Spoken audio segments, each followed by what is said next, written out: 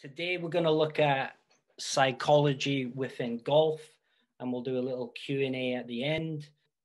The first thing I want to just let you guys know about before we get started is um, I've got this new exciting project that I'm working on with Peter Arnott, who's also a golf coach at Swanson Golf Academy, and Professor Ian Renshaw. So basically, Peter and Ian are putting together a book on Tiger Woods' development and what's happened is it's actually kind of morphed into a series of five books now. Basically, got like a gold mine of information right from when he was a kid, all the way through school, through high school, college, and obviously all the way onto the tour. So that's actually launching. Uh, the website's live. It's called trainlikeatiger.com. And it's actually, it's kind of morphed. It's going to be more than a book now. So it's going to be like a, really like a program, like an online program. So really excited to be involved in that. But let's get on with today's presentation. So, what I wanted to start with was something called awareness. Okay. So, awareness is something that doesn't really get taught a lot on the golf course um, or in golf coaching, just in, in general. So, there are really three critical areas to performing well psychologically on the golf course. So, they're kind of all interlinked and what I want to do is kind of explore all three as we go in a little bit more depth.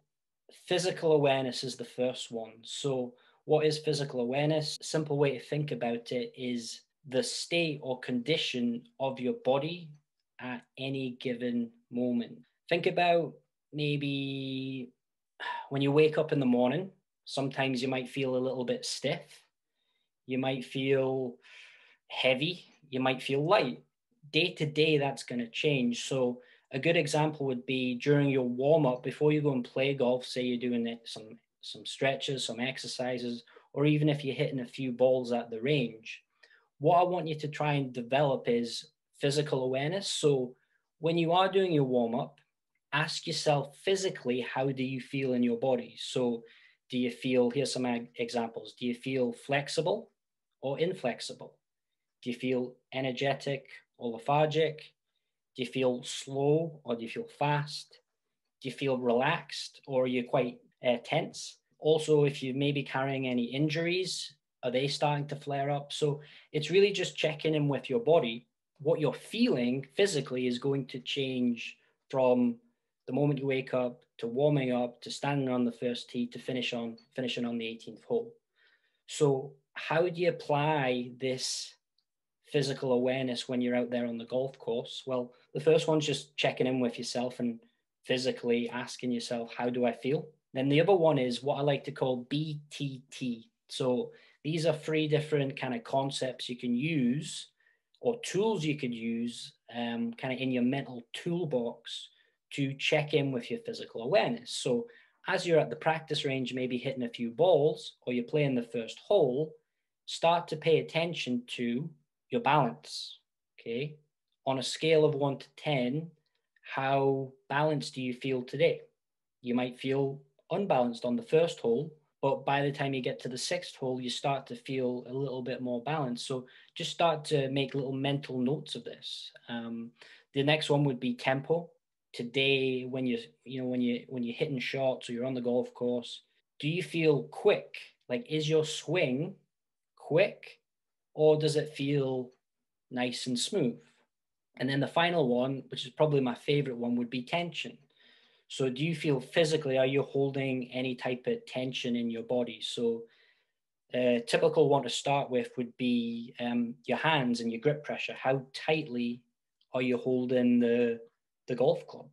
Other things you could think about tension would be kind of tension up, up by the head, um, tension anywhere in the body, really. It could even be from, you could actually feel it inside as well. So, whereabouts can you identify, even when you're sitting here right now, can you identify areas of tension within your body? And I think this is just overall a great skill to become aware of. So you you're trying to develop physical awareness. You kind of every every now and then you're just checking in to see how you feel. Now, picture almost two different scenarios here. Think back to a time when you've played your best golf. And then ask yourself when I was playing that round, was I physically aware or was I not aware at all? Personally, like if I think back to my some of my best rounds, physically, how am I feeling? I'm feeling very little tension in my hands, in my shoulders. That's probably where I tend to carry my tension in the hands or the shoulders. And if I'm feeling tight in the hands or the shoulders physically, and I'm aware of that, it's likely going to increase my tempo, my speed on my swing, and my timing's not likely to be as good under like stress of competition. So when I think back to the best best you know games of golf I've ever played, I've always been very relaxed, and I've also had like really kind of confident, relaxed body language where I'm just out there kind of having fun. So that's physical awareness. I hope that gives you a few points to to work on. Moving on to the next type of awareness, so that would be mental awareness. The big thing here is that you are more than the thoughts that come into your head. Okay. Mental awareness is that constant mental chatter you get while you're practicing or while you're playing a, a tournament. All those, all those thoughts that come into your mind, that's what we're talking about here. So the first question would be Are you using the left side of your brain when you're out playing, or are you using the right side of your brain when you're playing? The left side of your brain is what controls conscious thought. So it's very much from the neck up, and research shows that's only about 10% of your brain power. So that's all the, the kind of thinking that goes on, problem solving, decision making, that kind of happens in that area. The right side of the brain, that's where subconscious thought comes from.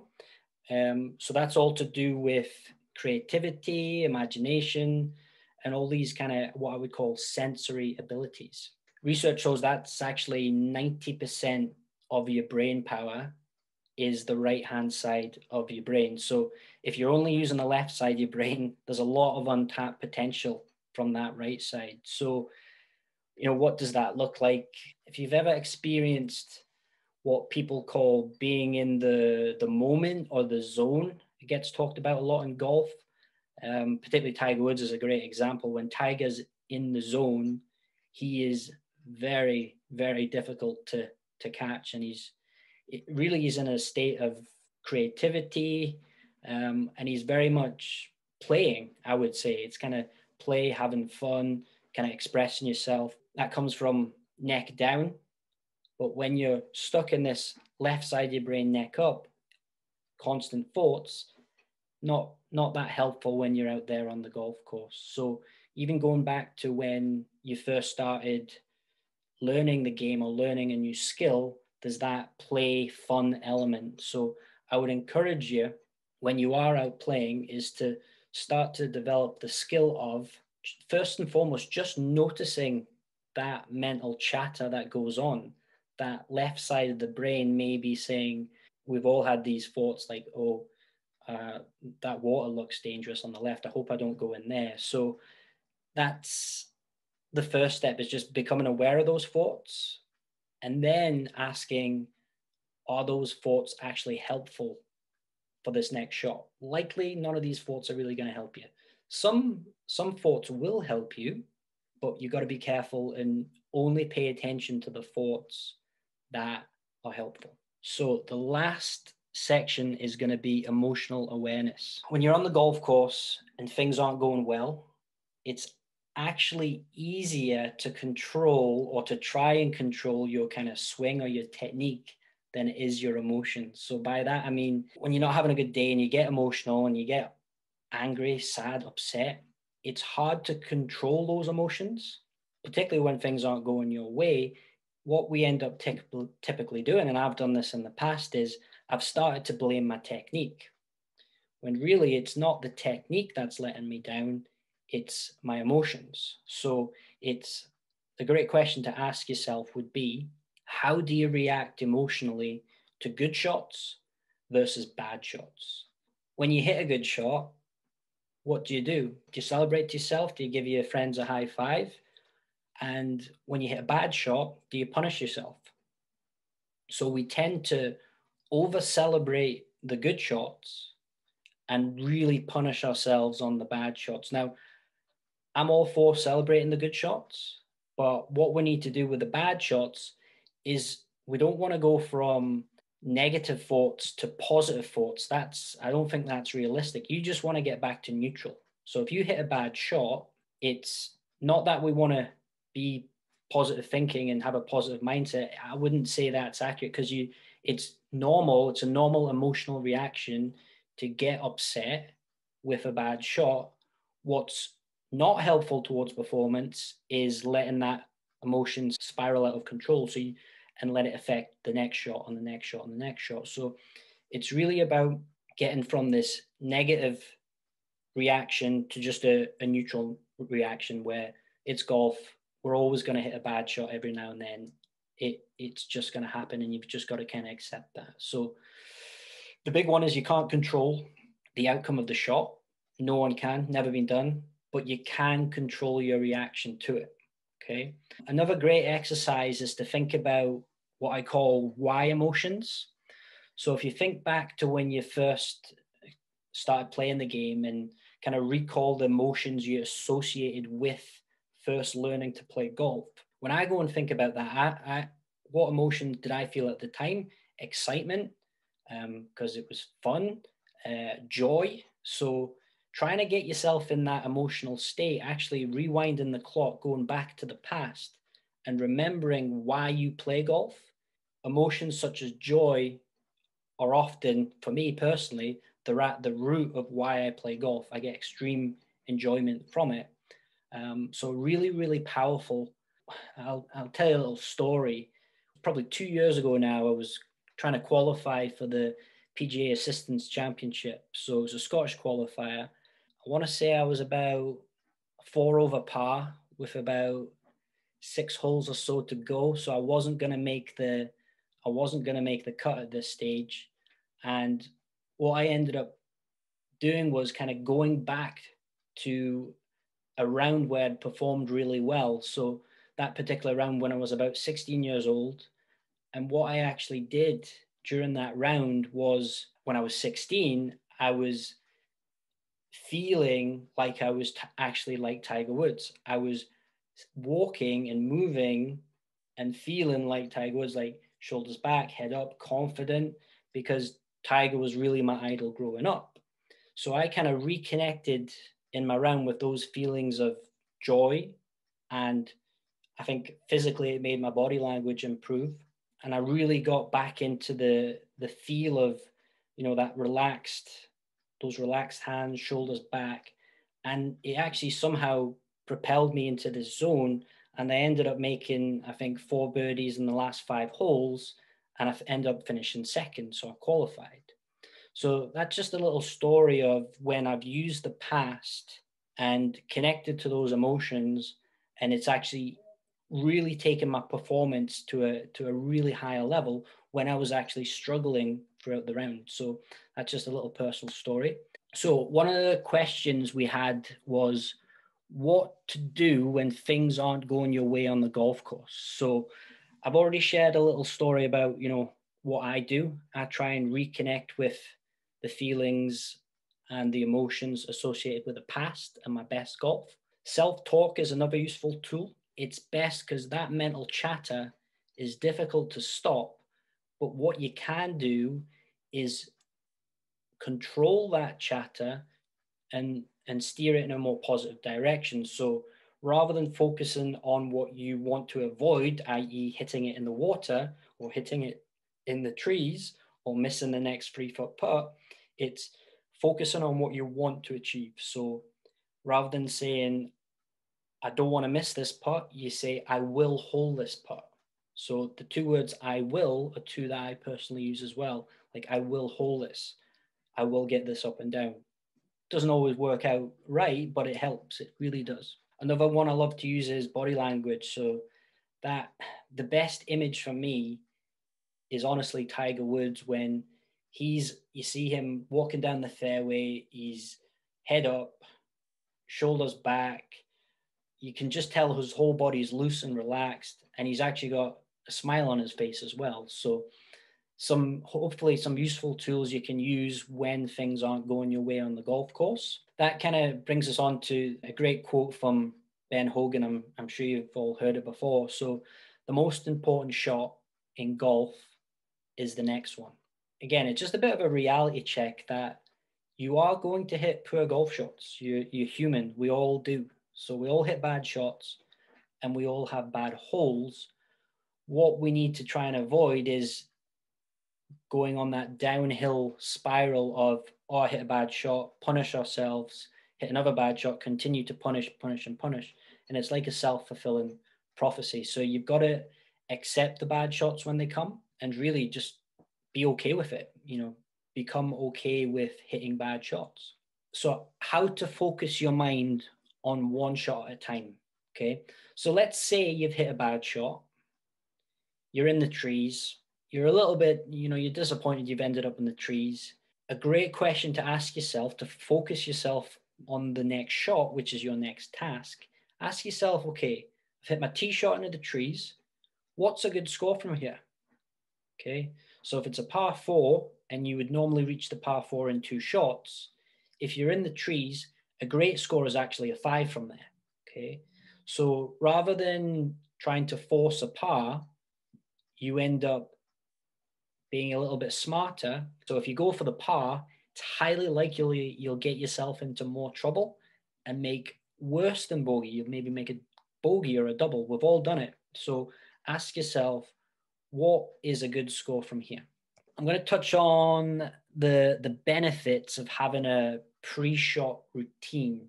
For me, the pre-shot routine, um, you've maybe heard about it. It's all about taking a practice swing before you hit a shot, the kind of moment leading up to hitting the golf ball. You've got 40 seconds is actually the time frame you've got to hit your shot. So what do you want to focus on during these 40 seconds so that you can you can hit the best shot possible. So the first one is you want to select the shot you're going to hit. Okay. So there's a lot that goes into that. You've got to select how far is it? Where's the wind? What club should I use?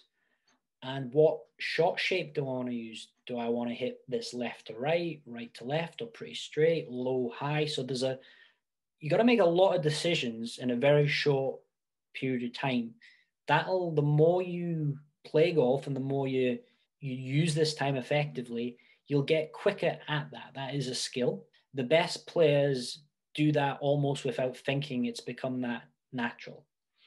Now, once you've selected the shot you're going to hit, the next thing I want you to do is choose choose a sensory feel. Okay, so what is a sensory feel? Well, it could be something like making sure your your hands stay nice and relaxed or have constant pressure through them throughout the whole swing so you don't tense or tighten up during your swing. Uh, another feel you could do would be feeling a nice tempo with your swing. So choosing a speed. So say you could pick a, a num you could say rather than going 100% speed, go 80% speed or your sensory field could actually be something that you're currently working on in your golf swing. So I know both of you actually have this a similar issue with the club face being open at the top of the top of the backswing. So having a feeling of that club face through the shot in a different spot would be a form of sensory feel. So select a shot, choose a sensory feel, Okay. And that feel will change day to day. And the next step would be just be present to that sensory feel as you step into the shot. So the only thing that we really want to be in your mind is an image, using imagery here. So a visual visualization of your ball flight you want to hit and connecting that to some kind of sensory feel. So there's a few books I'd recommend reading if you'd like to dive a little bit into more of this. So the first one would be Every Shot Counts, um, and specifically chapter six. So that's on distance, accuracy, and the secret of Tiger Woods. Um, the next one would be Be a Player Be a Player has a great chapter. It's actually chapter one on awareness, which we've talked about a lot today. And the last one would be the lost art of putting. Chapter two is called attention. And attention is very similar. They've just used a different word, um, very similar to what we've talked about today in terms of awareness. So I hope that's been helpful. Um, if you've got any any questions, um, we'll we'll take them now.